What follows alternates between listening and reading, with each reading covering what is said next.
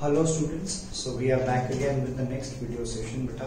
पिछले video session में हमने प्रोजेक्टाइल मोशन स्टार्ट किया था। कुछ एजम्पशंस थे और हमने कैरेक्टरिस्टिक्स के बारे में बात की थी और हॉरिजॉन्टल प्रोजेक्शन हमने स्टार्ट कर दिया था, बेटा, जिसके अंदर हमने देखा था that what is the equation of path for a projectile given horizontal projection अगर किसी एक प्रोजेक्टाइल को हॉरिजॉन्टल प्रोजेक्शन दिया जाए तो उसका इक्वेशन ऑफ़ पाथ क्या होगा? और हमने ये समझ लिया था that the path of that projectile is parabolic in nature तो आज के सेशन में क्या करने वाले हैं हम लोग? सबसे पहले हम टाइम ऑफ़ फ़्लाइट निकालेंगे। उस प्रोजेक्टाइल को जहाँ से थ्रो किया वहाँ से ग्राउंड तक हिट करने में कितना टाइम लगेगा? और फिर हॉरिजॉन्टल रेंज निकालेंगे and velocity at any instant निकालेंगे। तो uh, चलिए बेटा स्टार्ट करते हैं। लेट्स स्टार्ट तो स्टेटमेंट वाला पार्ट नहीं लिख रहा मैं, वो सब आपने पिछले वाले वीडियो में लिख लिया है। तो सिर्फ़ डायग्राम बनाएँगे और स्टार्ट कर देंगे। तो क्या पढ़ा था हमने? कि किसी एक ऑब्जेक्ट को एच हाइट से हमने थ्रो किया है with a velocity u metre per second parallel to horizontal तो ये u किसके इक्वल है? ux के इक्वल है। और uy क्या है? ज़ीरो ये vx हो गया, ये vy हो गया, ये ज़ीरो लिया हमने, ये a है, ये b है। ठीक है? तो यही फिगर था। ना हमें क्या करना है? टाइम ऑफ़ फ़्लाइट निकालना है। टाइम ऑफ़ फ़्लाइट क्या हो गया? ओ से बी तक आने का टाइम एंड इस ड्यूरेशन के अंदर इसने कितना डिस्टेंस ट्रेवल किया है? वाई एक्सिस में एच तो टाइम ऑफ़ फ़्लाइट क्या हो गया? Time of flight it is the it is the it is the time taken by the projectile. Time taken by the projectile to reach from O to B. है it is the time taken by the projectile to reach from O to B. It is denoted by it is denoted by by capital T से हम denote करते हैं अब यहाँ से यहाँ तक जो मोशन हो रहा है, उसके अंदर देख रहे हैं कि वाई एक्सिस में कितना डिस्टेंस ट्रैवल कर रहा है वो h, और यहाँ पे मैंने ये ओरिजिन लिया है तो ये नीचे क्या होगा? नेगेटिव तो s y is equal to क्या minus of h s y क्या है? Minus of h u y क्या है? ज़ीरो ए वाई क्या है? Minus of g metre per second square और t किसके इक्वल है? स्मॉल t किसके इक्वल है? कैपिटल t के इक्वल है। तो सेकेंड इक्वेशन सेकेंड इक्वेशन लगाएँगे s y is equal to u y t plus half a y t square ठीक है? तो ये क्या हो गया minus h minus h is equal to ये वाला पार्ट क्या हो गया? Zero zero into capital T plus half minus g into capital T square तो minus h is equal to minus g by two T square two h by g is equal to T square और t is equal to क्या आ गया? Two H by g का square. That is flight ठीक है बेटा? अब ये वाला पार्ट निकालेंगे हम, जिसको कहते हैं हॉरिजॉन्टल रेंज या एक्स एक्सिस में जो उसने डिस्टेंस मूव किया है एक्स एक्सिस में जो डिस्टेंस मूव किया है, कितने टाइम में? टाइम ऑफ़ फ़्लाइट में। ओ से बी तक आने में उसने जो एक्स एक्सिस में डिस्टेंस ट्रेवल किया, उसको क्या कहेंगे? That is known as the horizontal range उसको क्या कहेंगे बेटा? हॉरिजॉन्टल रेंज कहेंगे। चलिए देखते हैं। हॉरिजॉन्टल रेंज क्या होगा? हॉरिजॉन्टल रेंज क्या बताया आपको? कि ए से बी का जो डिस्टेंस है उसको क्या कहेंगे? हॉरिजॉन्टल रेंज और ये हॉरिजॉन्टल रेंज की बात हो रही है इसीलिए, या this is the distance is in x axis it is the horizontal range की बात कर रहे हैं हम लोग। तो क्या हो गया? It is the is the distance it is the distance moved Is the distance moved by the projectile along x-axis in time in time capital T. Capital T क्या है? टाइम ऑफ़ फ़्लाइट ठीक है? Capital T क्या है? Time of flight या time of flight के अंदर उसने कितना डिस्टेंस ट्रेवल किया? एक्स एक्सिस के long it is denoted by it is denoted by capital R. तो S, X क्या हो गया? S x is equal to are you x you हो गया। पढ़ा हमने कि x एक्सिस के अंदर कोई फोर्स नहीं है there is no force along x axis तो x कंपोनेंट जो है वेलोसिटी का वो हमेशा क्या रहेगा? X कंपोनेंट जो है वेलोसिटी का हमेशा कांस्टेंट रहेगा। एक्सेलरेशन ज़ीरो होगा। टी किसके इक्वल है? कैपिटल टी के तो सेकेंड इक्वेशन लगा रहे हैं हम लोग बेटा। सेकेंड इक्वेशन क्या हो गया? S is equal to u x t plus half का स्क्वायर तो ये क्या आ गया? ये क्या आ गया? एक्स क्या है? u into capital T plus half a x zero हो गया। टी का स्क्वायर तो s x is equal to क्या हो गया? यू इंटू टी और टी क्या पढ़ा हमने? Since T is equal to root two h by g T किसके इक्वल है? Capital T time of flight किसके इक्वल है? Time of flight is equal to root two h by g तो S X क्या आ गया बेटा? U into two h by g तो ये क्या निकल गया बेटा? This is the horizontal range of this projectile ठीक है? अब क्या करेंगे हम लोग? वेलोसिटी किसी भी इंस्टेंट ऑफ़ टाइम पे वेलोसिटी निकालेंगे। ठीक है? किसी भी इंस्टेंट ऑफ़ टाइम पे हम वेलोसिटी निकालेंगे या हम निकालेंगे velocity at any instant along x axis and y axis के अलोंग निकालेंगे और उसका फिर हम रिजल्टिंग वेक्टर रिजल्टिंग वेक्टर देखेंगे। जैसे यहाँ पे ये क्या होगा? इन दोनों का रिजल्टेंट होगा। ये वेक्टर क्या हो जाएगा? V तो हम क्या निकालेंगे? V वेक्टर निकालेंगे in terms of vx, vy and vx और vy के टर्म्स में क्या निकालेंगे? V वेक्टर निकालेंगे बेटा।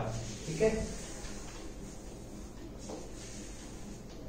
So velocity at any instant of time. velocity at any instant of time ठीक है तो clear let vx and vy be the velocity of velocity of the projectile along projectile along x-axis along x-axis and y-axis respectively respectively after time after time t seconds after time t seconds बार बार कह रहे बेटा कि vertical component जो है velocity का वो क्या करेगा? चेंज करेगा और हॉरिजॉन्टल कंपोनेंट हमेशा क्या रहेगा? सेम रहेगा। हॉरिजॉन्टल कंपोनेंट हमेशा क्या रहेगा? सेम रहेगा। ठीक है बेटा? क्लियर अब देखिए तो वेलोसिटी अलोंग एक्स एक्सिस निकालेंगे और बार बार कह रहा हूँ मैं कि velocity along x axis constant रहेगी यू एक्स यू है ए एक्स ज़ीरो है और टाइम टी है तो वी एक्स क्या हो जाएगा? U x plus a x t v x क्या हो जाएगा? U plus zero into t v x क्या आ गया? किसी भी इंस्टेंट ऑफ़ टाइम पे जो वेलोसिटी है लॉन्ग एक्स एक्सिस वो हमेशा क्या है? फिक्स्ड है बेटा। फिर क्या निकालेंगे? Velocity along along y axis तो वी वाई हमें निकालना है। यू वाई किसके इक्वल है? ज़ीरो के। ए वाई किसके इक्वल है? Minus of g metre per second square और t इज़ इक्वल टू क्या है? टाइम t सेकेंड्स है। तो vy किसके इक्वल आ गया? Vy is equal to uy plus ay t. Vy is equal to uy zero गया plus minus g into t. So this gives vy is equal to minus g t. तो जैसे जैसे नीचे आता जाएगा प्रोजेक्टाइल नीचे वाली डाउनवर्ड डायरेक्शन मैंने क्या ली? नेगेटिव इसीलिए यहाँ पे ये नेगेटिव आ रहा है। ठीक है? और या ये कहें कि जैसे जैसे ये नीचे आएगा प्रोजेक्टाइल इसकी वेलोसिटी नेगेटिव डायरेक्शन में इंक्रीज कर है ठीक है? अब ये Vx और Vy आ गया। मुझे क्या निकालना है? रिजल्टेंट वेलोसिटी V निकालनी है और उसका एंगल निकालना है। तो V किसके इक्वल होगा? V किसके इक्वल होगा? Square root of x square plus y square u square plus minus g t का whole square so it is square root of u square plus g square t square g square t square और angle निकालना है, ये वाला। तो tan theta पढ़ा था हमने, बताया आपको पहले भी। टेन थीटा हमेशा क्या होगा बेटा? Y component divided by x component तो टेन थीटा क्या आ गया? P y upon vx, vy क्या है? Minus g t upon u. यहाँ पे नेगेटिव साइन सिर्फ़ ये इंडिकेट कर रहा है कि ये नीचे बनेगा एंगल वैसे क्या पढ़ा है हमने? ये लेते हैं ना, vx, vy अगर होगा तो ये वाला तो ये नेगेटिव साइन सिर्फ़ ये शो कर रहा है कि ये जो एंगल बनेगा, ये फोर्थ क्वाड्रेंट में बनेगा। फोर्थ क्वाड्रेंट में बनेगा। तो tan is equal to minus g t upon ठीक है बेटा? इज़ दैट थिंग क्लियर तो इस तरह से हमने, इस तरह से हमने हॉरिजॉन्टल प्रोजेक्शन को कंप्लीट कर लिया। हॉरिजॉन्टल प्रोजेक्शन हमने पढ़ लिया। हॉरिजॉन्टल प्रोजेक्शन में क्या कहा था हमने? क्या होगा? किसी एक ऑब्जेक्ट को या किसी एक प्रोजेक्टाइल को एच हाइट से थ्रो कर रहे हैं with a velocity which is parallel to, with a velocity which is parallel to the is parallel to the horizontal. ठीक है बेटा? अब इसके बाद बात करेंगे हम एंगुलर प्रोजेक्शन की।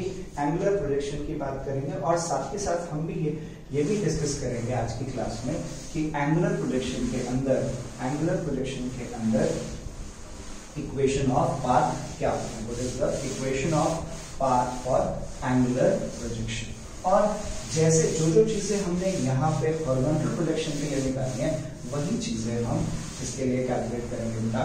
वही चीज़ें हम कैलकुलेट करेंगे फॉर एंगुलर प्रोजेक्शन और जो बेसिक कैरेक्टरिस्टिक्स है, वो सेम रहेंगे whether it is horizontal projection और whether it is angular projection तो क्या बेसिक्स थे? दोबारा से एक बार रिकैप कर लेते हैं.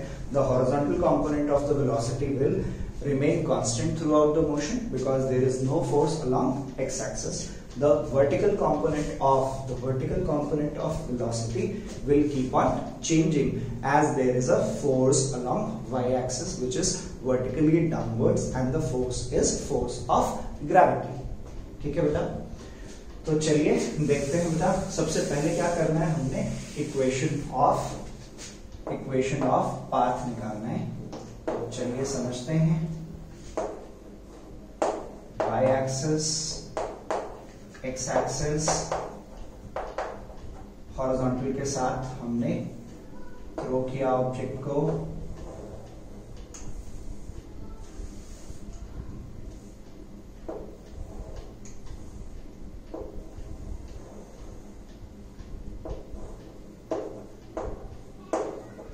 इनिशियल वेलोसिटी क्या है? U है। Ux क्या होगा बेटा? U cos थीटा uy क्या होगा?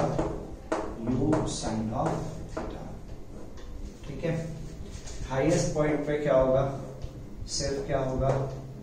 Ux होगा या vx vx लिख सकते हैं। Vx is equal to u cos theta किसी भी इंस्टेंट ऑफ़ टाइम पे वेलोसिटी vx और vy यहाँ पे वेलोसिटी vy और vx ये जो है, ये मैक्सिमम हाइट है, ये रेंज है, ठीक है? ओ ए बी ठीक है? इसी चीज़ को फॉलो करेंगे।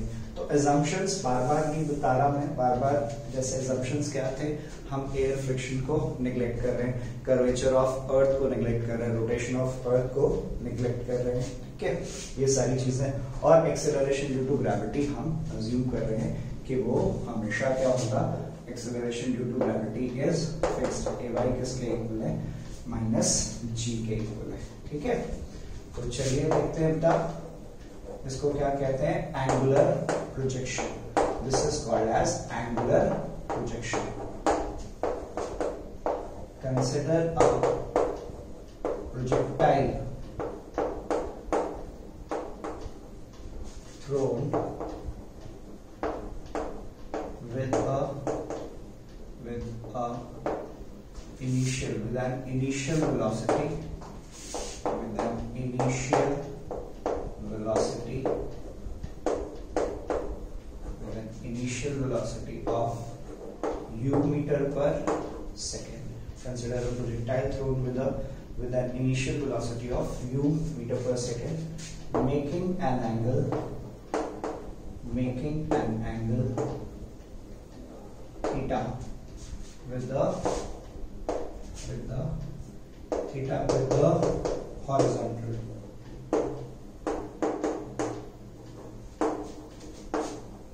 ठीक है क्लियर है ये बात अब तो horizontal component of horizontal component of velocity क्या हो जाएगा? हॉरिजॉन्टल कंपोनेंट ऑफ़ वेलोसिटी क्या बेटा? Ux या initial initial velocity along horizontal axis ux is equal to क्या हो गया? U cos of theta vertical component of velocity वो क्या होगा? uy is equal to u sin of theta. ये कंपोनेंट चेंज नहीं करेगा टाइम के साथ, ये कॉम्पोनेंट चेंज करेगा टाइम के साथ। ठीक है? अब let x and y be the coordinates coordinates of the projectile after time after time t seconds. T seconds के बाद क्या हो गया? कोऑर्डिनेट्स क्या हैं? X और y है। ठीक है? तो कहीं पे भी ले सकते हैं। हम ये वाला पॉइंट ले लिया मैंने। तो इसके कोऑर्डिनेट्स क्या हो गए? X, y तो ये ये क्या आ गया? X और ये क्या आ गया? Y तो जैसे हमने वहाँ पे पढ़ा था हॉरिजॉन्टल प्रोजेक्शन के अंदर, किसी भी इंस्टेंट पे, किसी भी इंस्टेंट पे मैं एक्स कोऑर्डिनेट कैलकुलेट कर सकता हूँ और वाई कोऑर्डिनेट कैलकुलेट कर सकता हूँ और उसी से क्या आएगा? Equation of path equation of path हम लोग कैलकुलेट करने वाले हैं। इक्वेशन ऑफ़ पाथ और पहले भी प्रूफ कर चुके हैं, हम लोग हॉरिजॉन्टल प्रोजेक्शन के अंदर भी प्रूफ कर चुके हैं that the path is, the path of the projectile is parabolic in nature. तो यहाँ पे भी वही करेंगे बेटा।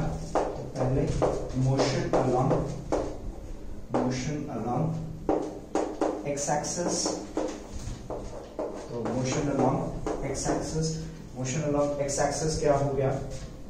यू एक्स क्या है? U cos theta a x क्या है? Zero after time T seconds बात कर रहे हैं हम लोग। तो और एस एक्स किसके इक्वल है? एक्स एस एक्स किसके इक्वल है? X second equation of motion लगाएँगे। S x is equal to क्या होगा? U x t plus half a x t square ये वाला पार्ट ज़ीरो हो जाएगा बेटा। एक्स इज़ इक्वल टू क्या आ गया? U cos theta into t और ये वाला पार्ट क्या हो गया? ज़ीरो ये वाला पार्ट क्या हो गया? ज़ीरो हो गया बेटा। तो यहाँ से t की वैल्यू क्या आ गई मुझे या ये क्या मिलेगा हमें? X कोऑर्डिनेट मिलेगा। और t की वैल्यू क्या आ गई? T is t is x upon x upon u cos theta यहाँ पे लिख लेते हैं t इज़ इक्वल टू क्या आ गया? T is equal to x upon u cos theta ये मेरी इक्वेशन नंबर वन होगी ठीक है? अब अब क्या करना है मुझे? अब मुझे क्या करना है? ये एक्स कोऑर्डिनेट आ गया। Motion along motion along y axis देखेंगे। मोशन अलोंग वाई axis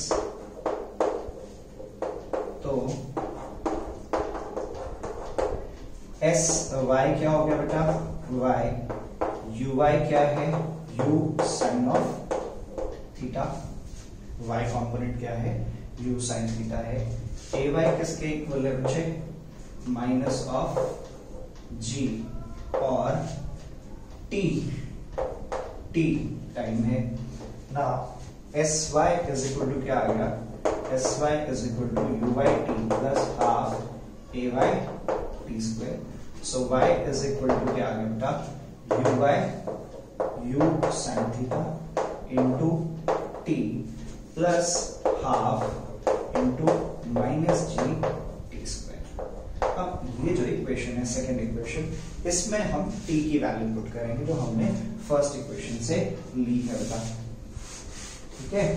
तो उसको पुट करेंगे और देखेंगे कि ये जो पाथ आएगा वो कैसा होगा?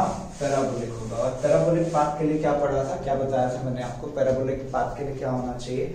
एक वेरिएबल x की पावर अगर वन है तो x की पावर अगर वन है तो y की पावर क्या होनी चाहिए? टू और अगर y की पावर अगर x की पावर वन है तो y का पावर क्या होना चाहिए? स्क्वायर ठीक है? तो चलिए अब put the value of put the value of value of t is equal to, t is equal to x by u cos theta in equation two ये कहाँ से लिए हमने वैल्यू फ़र्स्ट इक्वेशन से।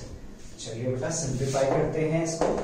u sin theta into X upon u cos theta minus g by two into X upon u cos theta का whole square बेटा so ये क्या आ गया? u से u कैंसिल हो गया बेटा।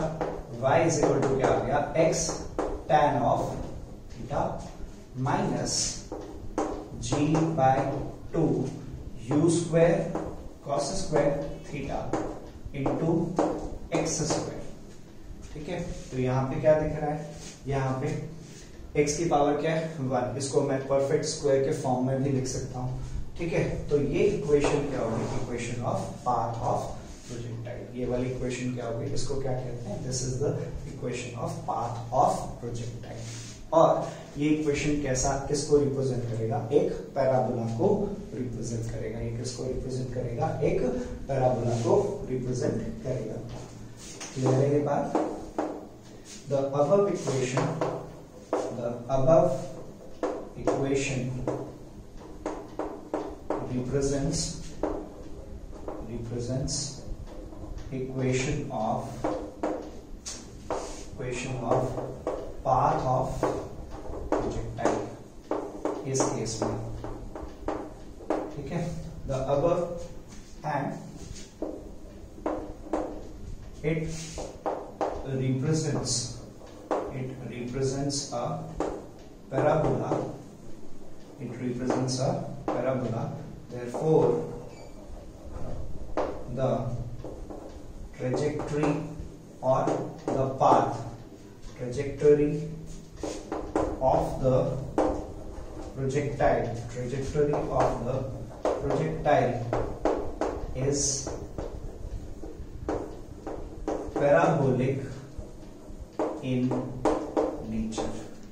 तो जैसा हमने बेटा हॉरिजॉन्टल प्रोजेक्शन में भी देखा और एंगुलर प्रोजेक्शन में भी देखा, दोनों में क्या क्या सिमिलैरिटी है?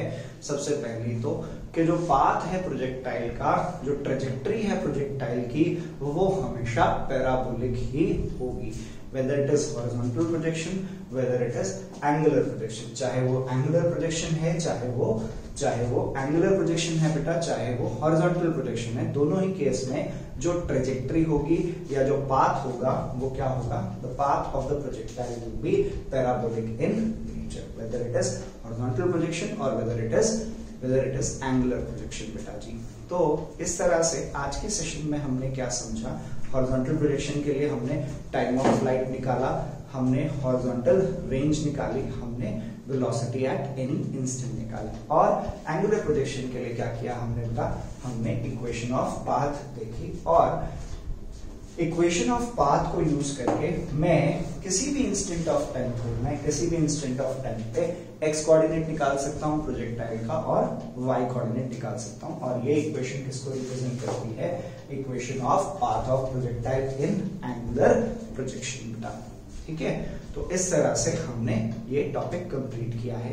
तो आपको क्या करना है बेटा? हॉरिजॉन्टल प्रोजेक्शन वाला जो पार्ट है, उसके आप एटलीस्ट फाइव क्वेश्चन करें। एनसीईआरटी में एक एग्ज़ाम्पल भी है और उसी तरह के और क्वेश्चन आप ट्राई कर सकते हैं। ठीक है बच्चे? Thank you so much